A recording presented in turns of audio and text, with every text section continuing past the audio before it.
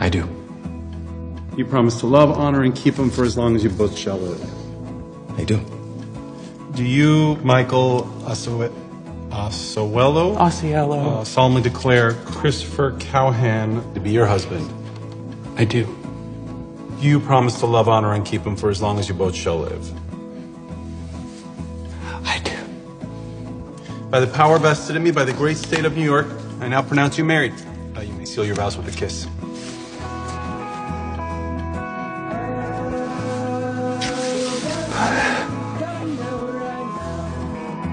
Ha ha ha.